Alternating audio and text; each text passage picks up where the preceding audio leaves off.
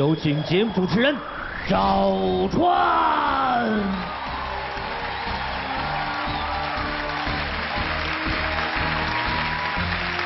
谢谢谢谢现场的观众朋友们，谢谢大家。欢迎电视机前的观众朋友走进天津卫视的大型情感节目《爱情保卫战》。我们的节目是由保湿护肤领先品牌伊贝诗冠名播出的，要保湿伊贝诗，伊贝诗弹润保湿水。要旅游找途牛，节目首播期间打开途牛客户端，赢三二三途牛旅游节百元现金券。如果你想参与到我们的节目，可以关注易贝诗的官方微信，或者到易贝诗的线下销售网点进行报名。现在请扫描屏幕下方的二维码，添加“爱情保卫战”的官微即可网上报名，了解更多的情感故事，与我们的情感专家在线互动。电视机前的观众朋友，现在请拿起手机，扫描屏幕下方的二维码，下载万事达手机客户端，进入到天津卫视的直播聊天室，边看边聊。直播过后，也可以通过天津 IPTV 网络电视或者万事达手机客户端继续观看本期的节目内容。现在，请您打开微信摇一摇摇电视，进入到爱情保卫战的互动页面，百万元的红包等您来拿。下面就是老师们跟大家见面的时间了。今天我们请到的是著名的节目主持人马丁马老师，欢迎马老师。啊，大家的老朋友，来自华谊嘉信的副总裁曲伟曲老师，欢迎曲老师。还有你们的爱情导师涂磊涂老师，欢迎涂老师。接下来咱们就了解这对嘉宾的基本情况吧，请看大屏幕。我们认识很多年了，我心里一直默默的喜欢着他，可是他的心里却住着另一个人。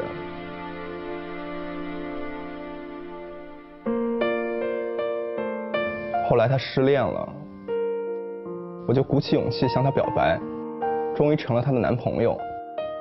可是他心里依然没有我，我为他做了很多事情，却怎么也感动不了他。我真的不知道该怎么做，才能走进他的心里。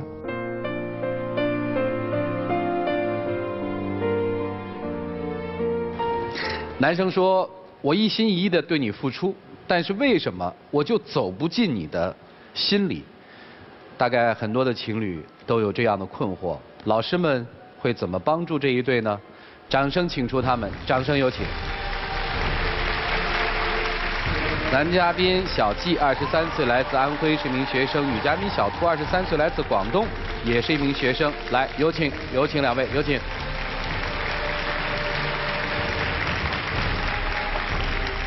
欢迎两位哈，校友是吧？对对对，是一个专业吗？不是一个专业，是两个专业的。对，两个专业。同级吗？同级。同级啊，是从什么时候开始的呢？呃，你是说认识还是在一块儿？你自己界定吧。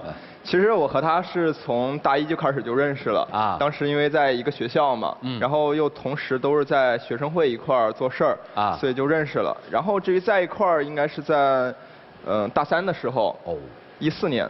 前面那两年怎么就错过了呢？没在一起。嗯，当时因为我刚入学嘛，嗯，不太会积极主动的去找女生，就开始可能只是有好感，啊，然后他就被我们学生会一个更高年级的师哥给追去了。哦，那你那个时候对他的情愫是默默的关注着呢，心里有了呢，还是什么都没有？其实那时候就挺喜欢他的。因为当时有一次学生会，我们办晚会嘛，啊，当时我工作证掉到一个那个夹缝缝隙里了，不太好够。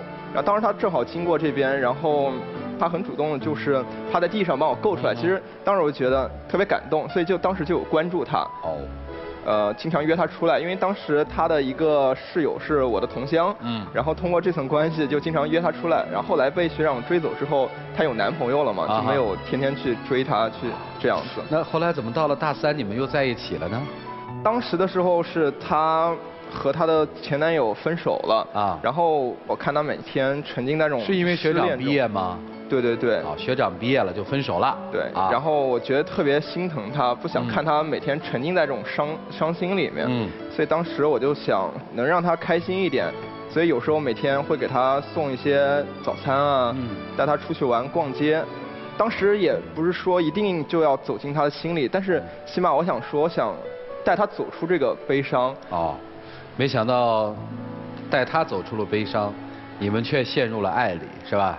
对。啊，后来呢？后来有一次，我记得是咱们快开学那会儿，过完寒假，然后他说他行李特别多，不太好拿，然后当时我就坐了二十多个小时的火车去找他，但是我不想让他和我一样那么辛苦，坐二十多个小时的硬座，所以当时我就把寒假嗯挣到的钱省了下来，然后和他买的机票，然后一块儿飞回学校，可能那时候他也会有些感动吧。然后你家是安徽的。对对对，他家是广东的。对，你从安徽坐火车到了广东。对，然后一起坐飞机回学校。学校是哪里的？学校是江苏的。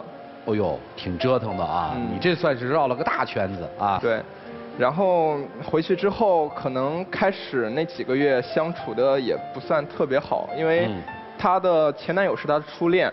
然后其实我也挺能理解的，就是刚失恋的时候，肯定或多或少的说走不出自己失恋的阴影。啊。所以她和我说了这个情况，我说没关系，那咱们既然在一块儿，其实我愿意再陪在你身边。嗯。然后只要能够让你走出这个失恋的阴影，其实我还是愿意等待的。啊。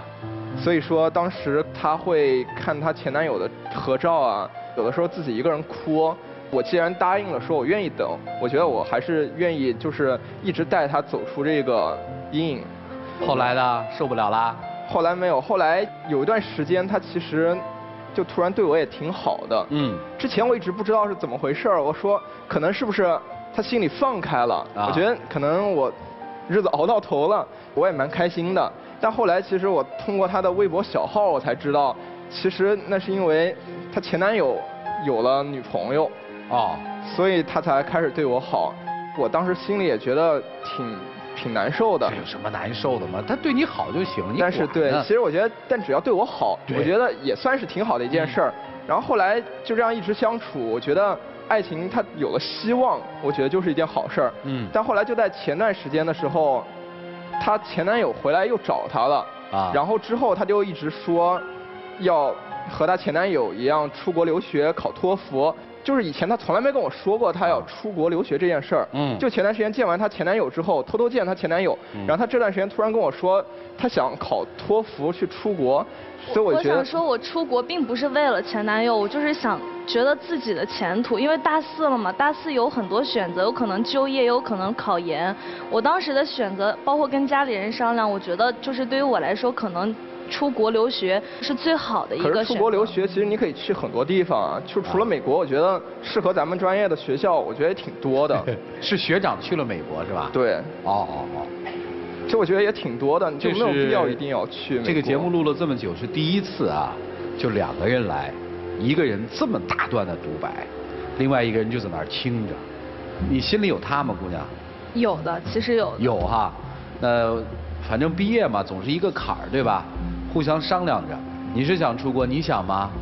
其实我并不是太想出国，因为从我自身发展来说，可能就是我的专业可能也比较适合留在国内。啊，你是什么专业？我是广播电视编导专业。哦，你呢？我是学新闻的。要去美国是吧？嗯。啊，要走了以后，未来的这个情感你们怎么延续？你想过吗？我想过。啊。我希望的感情状态是。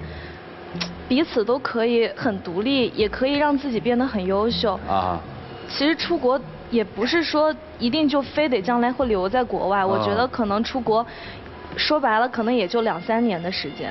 啊，呃，我问问你啊，姑娘，就是你在跟他交往期间，跟你的前男友还有过交集吗？我不用交往这个词，我用交集。比如说有没有见过面啊？有没有互动啊？聊天的互动啊？其实有过，但是不是很多。啊，我觉得其实还是蛮多的啊。因为前段时间他有一次大半天找不着他人，嗯，然后打他电话也打不通，然后问他室友，室友也不知道他去哪儿了。后来晚上很晚才回来，然后他告诉我说他去帮朋友救场，去做一个什么事儿。然后过了一段时间，我去那个学校政教处嘛，然后和那个老师聊天的时候，才无意中从老师嘴里得知她前男友回来。应该是拿出国的一些什么文件吧，哦，然后我才知道，她去见她的前男友去了。我当时不告诉你，不是偷偷去见他，因为我刚开始跟你在一块儿的时候，我就跟你表明过，我可能在我心里，前男友一直有一个，就是比较重要的位置，因为。其实我觉得你，你如果真的只是为了见他，如果真的没什么的话，我觉得你至少可以和我说一声，不要欺骗我。因为一开始我就跟你说过，但是你跟我说你不介意他，你不介意我心里有他，但是我可能会害怕，就是给你带来一些不开心。我不希望你因为我前男友心里有一些不舒服的地方。总之就是见前男友却欺骗了他，就是没对他说实话，对吧？嗯。你怕伤害他？我觉得他心里不想。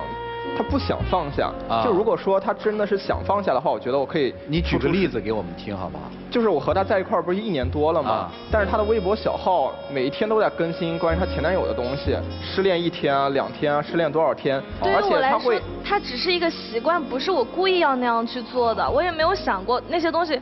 可能会让你发现，可能会给你带来伤害。之前她前男友去北京工作的时候，他会截北京的天气截图。嗯。后来她前男友去了美国读书，他又会截美国的天气截图。哦。这过生日的时候会说祝他生日快乐。我跟她逛街的时候嘛，我看到她包里有张快递单，就是寄给她前男友的生日礼物，因为那段时间正好是他。前男友的生日不是那个生日单，我得解释一下，因为我跟我前男友在一块两年多的时间，嗯，其实那个生日礼物是我在跟他就是分手之前就买好了。那个礼物其实我也想过，就是转送给别人，或者说就把它扔掉。但是我也考虑过，我觉得可能那个东西对于其他人来说没有任何的价值，也没有什么意义。但我觉得扔了也其实也挺可惜的。然后我就寄过去给他，就像朋友之间一样，没有任何。哎，你们在一起，你过过生日吗？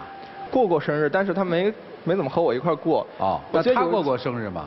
他过过生日，他给他过了吗？给他过了。当时放暑假，我又专门跑到广州一次。其实那段时间真的还是相处挺好的。就自从她前男友回来。可能又开始对我特别冷漠，然后最近又我觉得其实你太膈应前男友了。其实很多时候，可能我心里没有你那么多去想着他，在我心里他有一个位置，但是对于我来说，他只是过去式了，永远不可能成为现在和将来。那既然已经过去了，我为什么还要在微博上不停的更新他呢？咱们在一块儿已经一年多了。因为他就像我一个习惯一样，因为他是我初恋，可能很多事情就像写日记一样。行，我我问另外一个问题吧。哎，你愿意跟他一起去美国吗？其实我还没太想好，因为毕竟也不一定说我想去就能去啊。其实如果他真的只是为了学业的话，其实我觉得我可以支持他。但是他开始从来没有提过这件事儿，就因为前男友回来就说要去美国，这个事儿太巧了啊，所以我。不太相信这个事儿哈。我去美国留学真的只是我个人的前途，为我个人的前途考虑。而且去美国是我跟我父母我们坐下来讨论过，去美国学专业进修一两年两三年，可能对于我将来回国以后前途来说会更光明一些。只是这样。听明白了，听明白了。唉，轮回嘛，啊，前男友毕业的时候说分手，两年以后要毕业了。现在说分手的不是男友，是另外一个人，应该怎么办啊？听老师们的吧。丘比特问卷，不许说你过去那点事儿了啊！我保证不说过去 不许说了啊！对，我想问一下，你在微博小号上还写你和前男友的分手纪念日是吧？你们是什么时候分的手？一四年分的手。一四年几月几号？一四年八月底，八月二十六号。那你们俩是哪天牵的手呢？二月二十八号。姑娘，你不太记得，对吗？分手纪念日记得清楚无比，牵手纪念日不太记得，但男孩记得。嗯。然后我还想问一个问题，就是前男友长什么样？前男友其实。也不是特别高、特别帅，但是我就觉得他特别有才华、特别优秀，就是在我看来就是光芒万丈的那种。光芒万丈，嗯。他就像我人生的一个灯塔。灯塔。那现男友呢？是什么？我觉得现男友就对我挺好的，他也挺爱我的。就是我身边所有的人都觉得，可能如果我这辈子。不跟他在一块儿，可能也再也不能遇到比他对我更好的人了。其他身边的人怎么认知不重要，你怎么认知最重要。前男友是灯塔，光芒万丈；现男友是什么呢？比喻一下。温开水吧。温开水。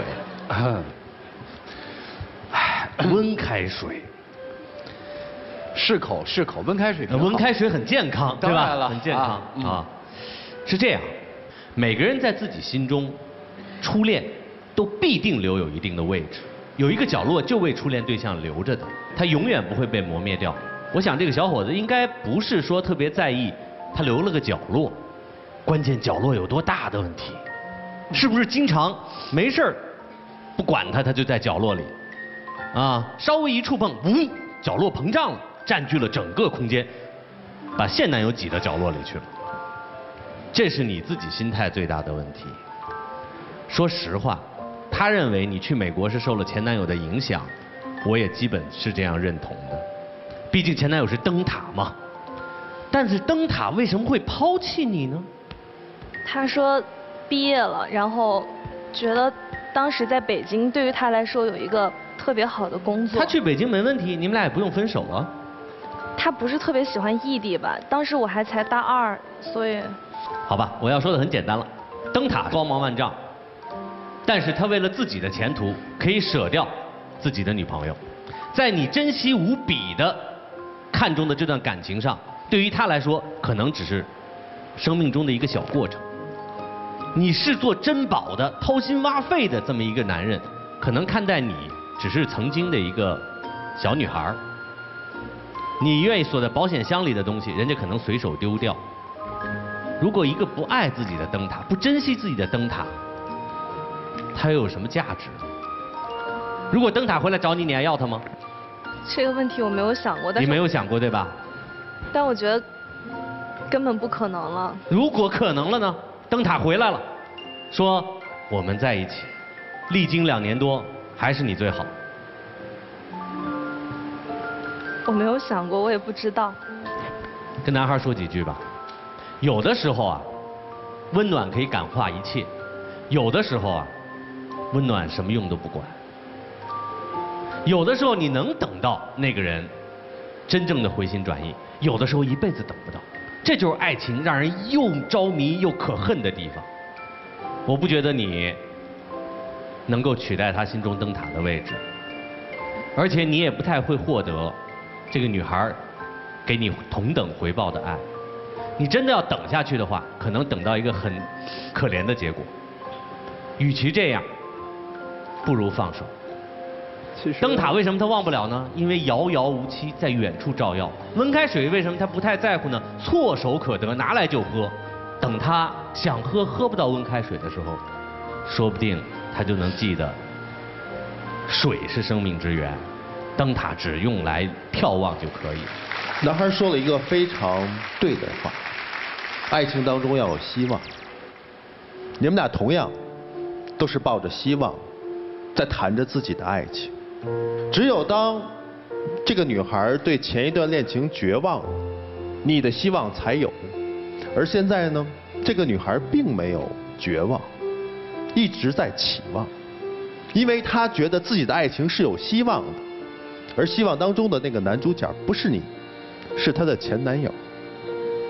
女孩你是在谈着一场恋爱，一场曾经的爱情，而那个男主角就是你的前男友，否则不可能失恋多少多少天，不可能已经分手还给他做生日快乐，而你的心情随着他的一举一动在变化，他在哪个城市，你关注哪个城市的天气，请问同样的几件事情有没有为他做过，有没有想？为他做过，所以啊，他在跟你谈恋爱，你在跟前男友还在继续的恋情。我觉得只不过，一个是地理上离你很远，却在你心里充满了所有的位置；一个虽然每天陪伴你在为你做着一切，但是可他，在心理上的位置离你很远。你们分别在谈着一场恋爱，而真正的爱情是相爱的，两个人的希望是同一个希望。我们有共同的目标，而你们不是啊，貌合神离。你知道自己根本就没有真正的爱上过这个男孩，只不过他是能够让你走出暂时的悲伤，一个陪伴的伙伴而已。但你不告诉他真相。不是的，老师，从一开始我就跟他说过。对啊，就怕这样的。从一开始我就告诉过他。是的，可是你还要给他希望。你明明觉得。我不会爱上前男友，他只要不结婚，你一定会心在他那儿。不是的，老师，我我我觉得在我的人生底线里面，我是不可能因为以前的男朋友去辜负现在的男朋友，我是绝对不可能。你还是没搞清楚我的意思，你心目中真正想在一起的那个人是谁？是前男友。可是想归想，现实跟……你告诉他了吗？想清楚吧，好吗？如果你想不清楚，你要想清楚，你就知道应该接下来怎么做了。就这样。好，谢谢，谢谢曲总。胡老师，有些人注定是你生命中的过客，但却总是成为你记忆中的常客；有些人是你生活中的常客，但永远也仅止于是做客。其实你心里非常清楚，喜欢和不喜欢。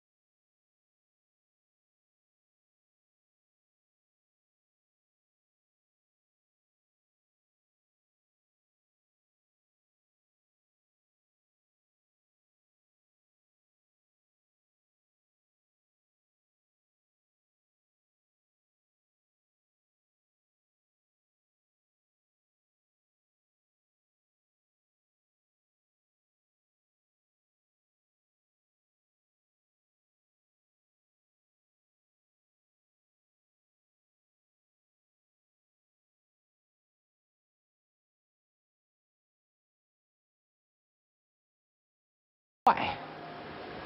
其实我觉得，人要学会享受寂寞的时候，就不会有这样的麻烦。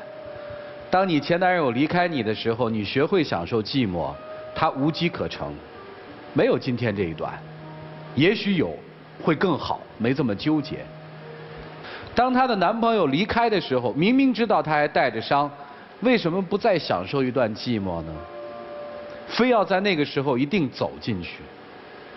当我们学会享受那种情感上的寂寞、孤独，守点自己内心的那些东西的时候，你会发现，等一段时间来的会更好。如果真的因此而分手了，希望你们都能守一段寂寞，迎接下一段的情感。自己选吧，一起进入黄金六十秒。其实我觉得，付出这种东西，它不会丢人。你爱不爱我，就像喝水一样，它是能感觉得到的。如果觉得我能感觉得到，其实我愿意去做一些可能别人看来非常没有意义的事儿。但是我也觉得有些东西，如果它真的让我感到了没有希望，感到绝望的话，其实我也会选择放手。但是，我还是想在心里把自己想的想明白。同时，我也希望你能把自己心里想的告诉我，所以我不希望说咱们俩一直想着本来自己不应该想的东西。我觉得在一块说一句话呀。我想说，可能其实我一直都觉得你是个很好的选择，也是个很好的人。但是我去美国真的跟前男友没有关系，纯粹是为了我自己。请亮灯。哎呦，你听他说一句多好啊！哎呀，请回两位啊！大学里的爱情，毕业了就面临着这样的抉择时刻，请关门。即使我想没有那个前男友的存在，就是这样一对女生现在说要去美国，我相信也会有这么一出。年轻嘛，总是要经历许多，让他们自己好好的去沉淀吧。电视机前的观众朋友。下载使用天天圈，提出情感问题就会得到导师们的在线解答，并且有机会在爱宝节目中得到涂磊一对一的指导。使用微信摇电视参与互动，点击左上角的宝箱抽取现金卡。关注我们的节目信息，请关注新浪娱乐、腾讯娱乐、搜狐娱乐、网易娱乐、凤凰娱乐。欢迎大家登录优酷、土豆、腾讯视频、搜狐视频、乐视网、PPTV、聚力、爱奇艺收看节目的完整内容。来看一看这一对他们。自己的选择吧，请开。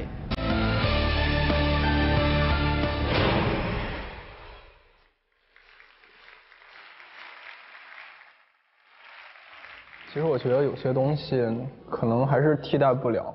既然替代不了的话，我觉得还是放开比较好。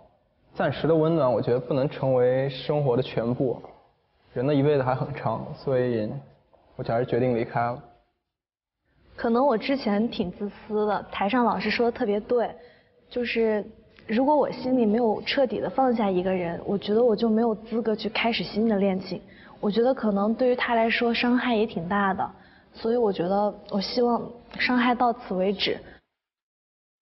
好了，祝你们毕业季顺利，祝你们开开心心，留学也好，工作也好，把你们在学校里学的东西拿到生活里，好好的施展一下。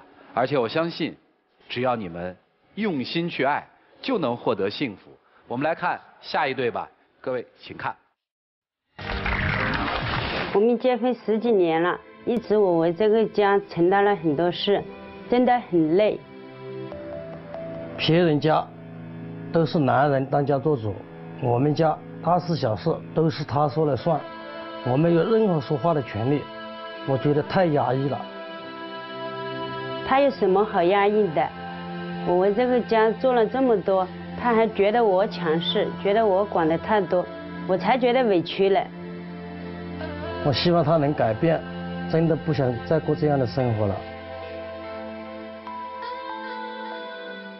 来，掌声请出这一对，掌声有请。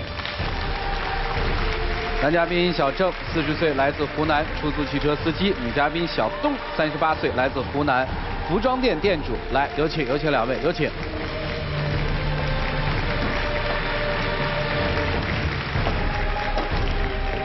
欢迎两位哈，你要来的？嗯，我要来的。为什么？觉得生活在家里太压抑了，没得一点地位啊。你有什么好压抑的？家里面什么大小事都是我在承担，我还委屈了。哦，大小事他在承担。我我给你们总结了一些事儿，因为结婚十几年，对不对？嗯。咱要都说开了，那时间就海了去了。我一件一件的事儿问，好不好？好了。说你们家买房子，但是欠着外债，你不同意，他一定要做，是吧？嗯。后来这房子买了吗？买了，在我不知情的情况下，坚决反对的情况下，他一个人去买的。我们现在小孩也还小，需要用钱，而且我们在那边做那个生意，刚开始在那边做生意嘛，亲戚帮助我们借了一点钱给我们做这个生意。哦。欠了他们的钱还没完，这种情况绝对不能买这个房子。哦。我是为了小孩以后生活条件好一些吧。哦。现在小孩还小吧，欠了外账可以慢慢还呀，是吧？哦，你觉得委屈是吧？嗯，我觉得委屈。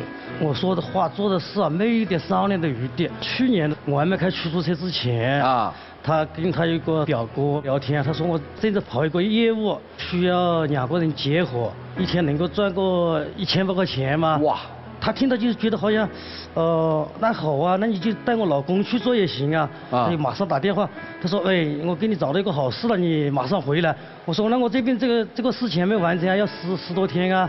他说那不行了，人家在家里等你嘞。后面我回来就是我我问了他到底是怎么回事，他说做那个业务，呃，需要一台车子。啊。没办法，又买了一个新车。嗯。买了个新车，我们在外面跑了一个来回啊，给了大概半个月。并不是他们说的那样啊，一天能赚好多钱啊。后面这个事啊，也也没去跑了。现在那个车子啊，耽误在家里面，现在卖也要亏几万块钱了。嗯。你还说那个车子，别人买个车子一天都能够赚个好几百块钱，你什么事都是三天打鱼两天晒网，你什么事都不做。我想到你半年了，在家里没什么事，给你找个事，我也不愿意去买个车呀。我想给你找点事做呀。等于这生意又完蛋了。啊，生意完蛋了，车现在趴在家里了。啊，车子也耽搁在家里面。啊，卖也现在要亏几万块钱。你是觉得你他强势，他是觉得你懒惰，是这意思吧？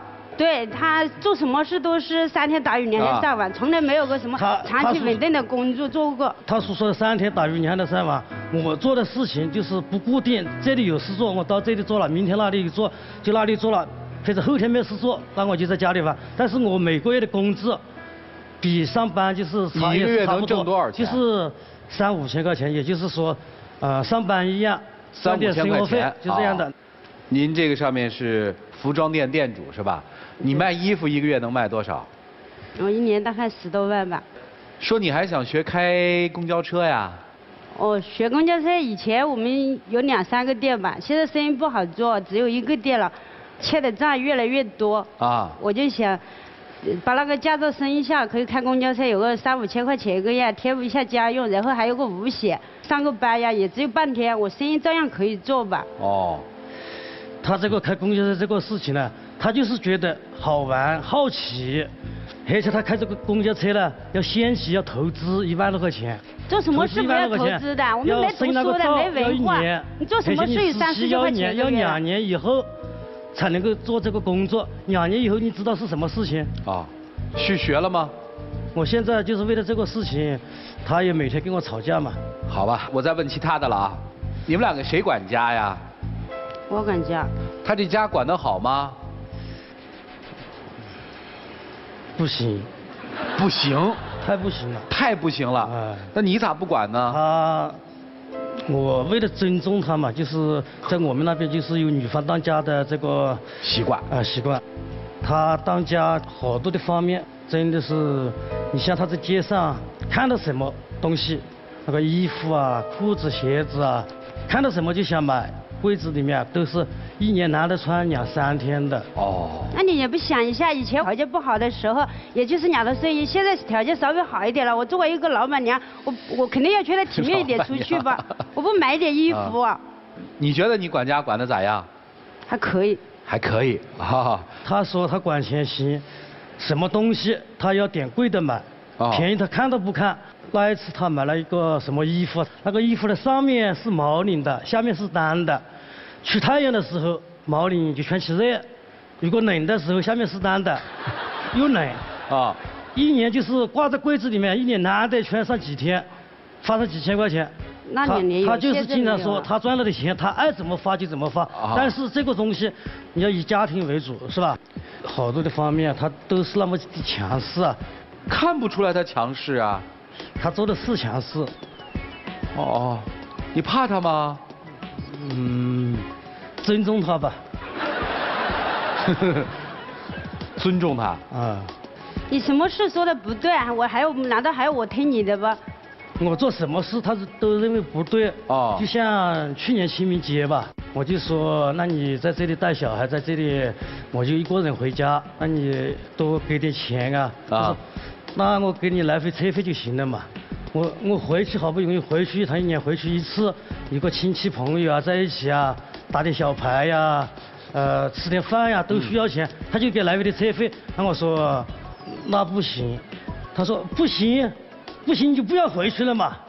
你这样说，后面回去我又向我那个向朋友又借借了点钱。你不知道家里什么条件呀？给车费给烟钱就够了呗。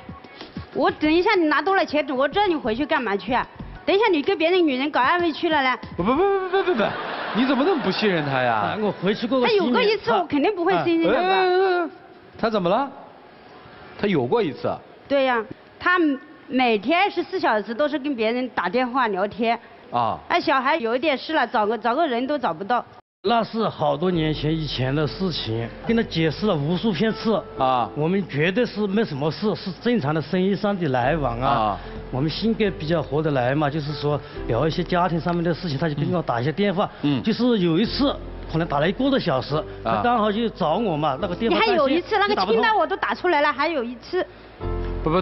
多少年以前的事儿？呃，七八年前，他就紧纠结这个事情不放，有什么事情他都好像对你就不放心。啊。那个事之后，他什么事啊，好像就就受他的监视啊，跟踪一样。还还跟踪啊？你在哪里跟朋友吃过饭啊？他要打电话，打好多的电话呀什么的。听明白了。都在他掌控之中。啊。你去干嘛去？你去约别人吃饭去？那个事情，也就是说。就是说我跟他有点生意上的来往。行，听明白了，听明白了。有时候我会跟他帮点忙，他就说要请我吃个饭。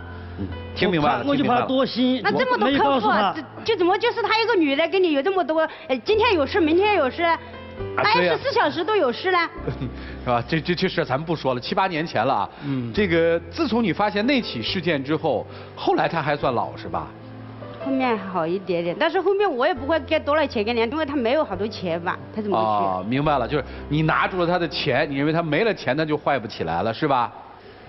啊，从那个事之后，他就是什么都怀疑你。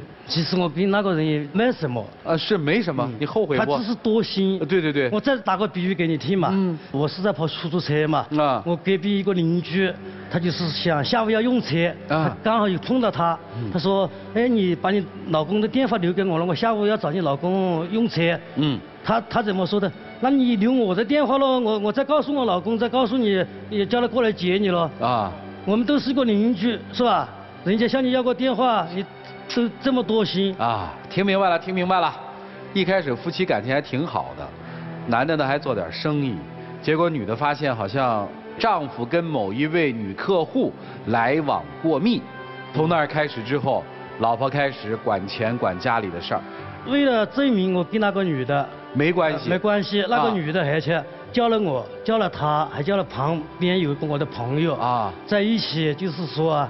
在一起单独说了这个事情啊！你老爸住院了，你怎么知道要我去借钱呢？你跟别人关系那么好，你自己去借钱去啊！哦，好好，就就就不吵了。还打个电话要我去娘家借钱来跟你爸住院，你管个什么事吧？嗯嗯嗯，听明白了，听明白了。老婆还是在意这老公的，不在意你爱干嘛干嘛是吧？也不管了，对不对？他就是这么强势，我说什么他。跟你受苦的时候自己不不怎么不说呢？结婚的时候饭都没得吃。你心里还有这个男人吗？说句实话，有啊，有啊，对，没有就不会那么管，连邻居你都监视，你心里还有这个女人吗？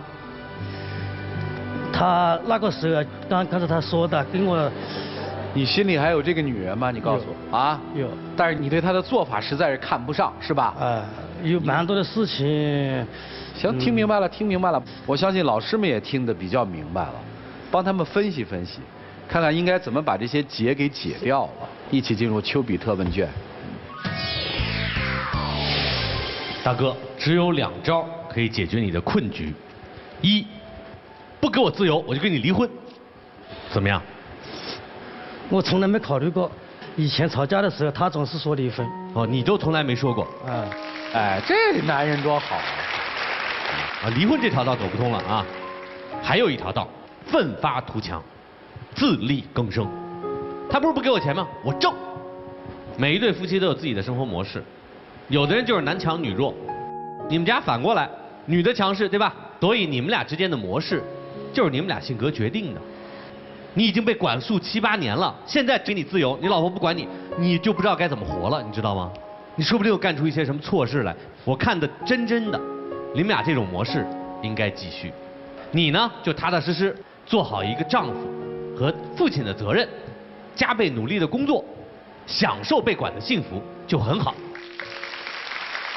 你们俩肯定是分不开的，这是一个大前提。嗯，在大前提之下呢，女士，你得做出一些调整。首先，第一，你心里是不信任他的，两方面，一方面是在关系上，你怕他会有什么花花肠子，这不信任；另一方面，在他的能力方面不信任。而你呢，典型的做的多想的少，听风就是雨，人一说什么，哎好就做了，非但自己不过脑子呀，也不跟老公商量，因为你不信任，你觉得没用，所以你会累。你做的很多事情都是为这个家里着想的，你心里的家里责任感是非常强的，但是你基于你对他不信任，结果你在前头跑得快，他呢第一呢能力是有限。第二一个呢，还真是爱你，挺踏实，结果呢就被你拽着跑吧，自己很狼狈。现在呢就是里外他都没面子。虽然你们在一定程度上在这种关系已经形成了，但是一定得有一个度。在你这个大前提之下，你给他一些自由，给他一些尊严的话，他也会一定会加倍的爱你。况且你身上有很多缺点，是他是可以给你弥补。就比如说，你不过脑子，很冲动，做事很冲动。花钱你可能经济上你做的也不太好，但他可以，我觉得他还是一个心思可能还是蛮缜密的人，有些事情他会想得多，做的少。你们俩在这一方面如果能多沟通，多聊一聊，你们俩综合一下，可能能做出点有前途的事儿。这是你们俩性格上的互补，很好的互补。而这位大哥呀，我觉得你是挺压抑的，但是爱了，爱这个家，对吗？嗯。你甘心受压抑，但是在某些方面的确是尊严上受到了很大的挫伤，所以给你的建议就是，多在自己的工作能力上下下功夫，在工作方面，如果你能赢得了你老婆的信任，就可以换来尊重，好吗？各自改自己的那点不足，两个人在一起，我觉得还挺好，互补，就这样。好，谢谢谢谢曲总，涂老师。在场上，你们至始至终所有的对话都没有那种咬着后槽牙的那种咒骂的感觉，好像还是彼此顾及对方。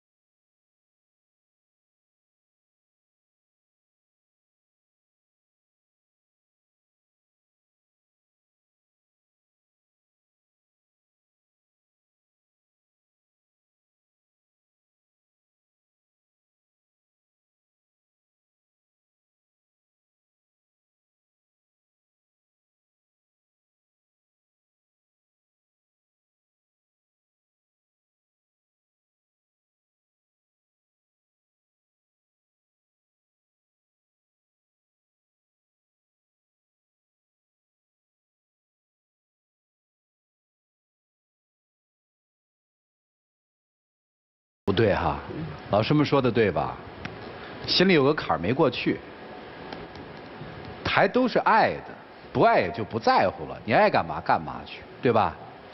两个人也还都是想把家里的日子过好，对不对？嗯，是所以他才着急说：“哎呀，你不能这么干，你这个家伙你不懂，我必须这么干，对不对？”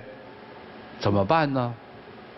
做事慢半拍，多听听别人的意见，以后在家里，就是在当着外人的时候多给他的一些面子，家里的事儿共同商量一下，好好的过吧，好吗？嗯。还压抑吗？我希望通过这个节目呢，你这样，你直接去亲他一下，然后回来你就不压抑了，试一下。去啊，勇敢一点，哎。哎呀，哎呀，哎呀，哎呀！最后听听他们能说出什么话来，一起进入黄金六十秒。老婆，其实从第一天跟你相见的喜欢到我们一次结婚到现在，其实我一直爱着你的，就是在这个钱方面，我们一定要。量力而行，要花的有价值。嗯，我们一起努力，嗯，把这个生意做好。好吧，只要你努力赚钱，我到时候我也改一改我的脾气吧。没啦？哎呀，亮灯啊！不让你发火，你还真不会说话了啊！两位请回吧啊！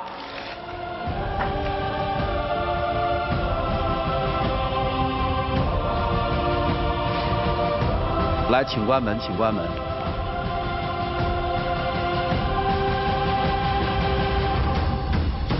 好了，接下来我们来看一看他们自己的选择是什么，请开门。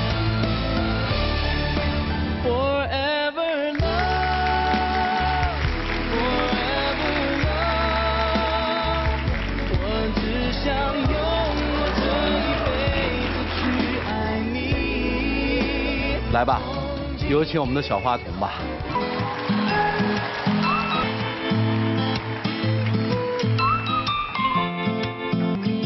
谢谢。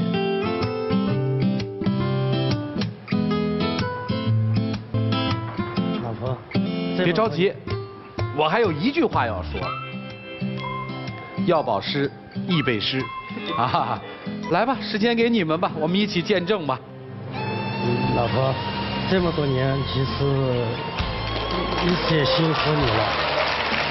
你这么多小孩，都是你一个人把他带大，辛苦你了。我爱你。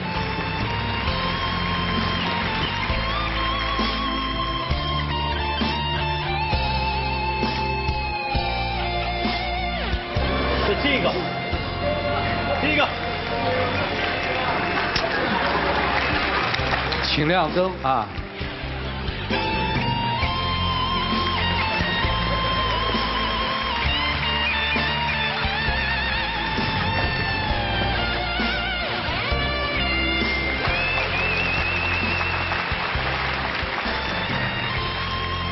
推开一个家庭的窗户，你可以看到真实情况的时候，像这样锅勺碰锅沿的事儿多了去了。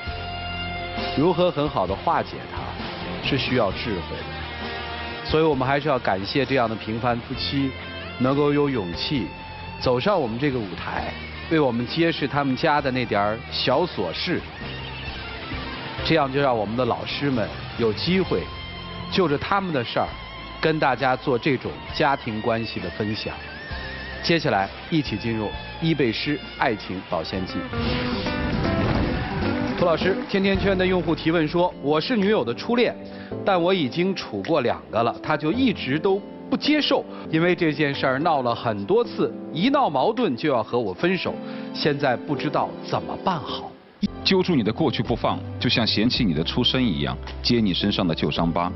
这么不能包容你的人，一定在生活当中也不能包容你其他的缺点，这样的人不堪与之相处。好，谢谢，谢谢涂老师。也谢谢我们其他的两位老师。我们的节目是由保湿护肤领先品牌伊贝诗冠名播出的，要保湿伊贝诗，伊贝诗弹润保湿水。如果你想参与我们的节目，可以关注伊贝诗的官方微信，或者到伊贝诗的线下销售网点进行报名。要旅游找途牛，节目首播期间打开途牛客户端，赢三二三途牛旅游节的百元现金券。再一次对以上机构对于本节目的大力支持表示衷心的感谢，谢谢现场的观众朋友，感谢电视机前的观众朋友收看并且陪伴了我们的又一期节目，下期节目再见。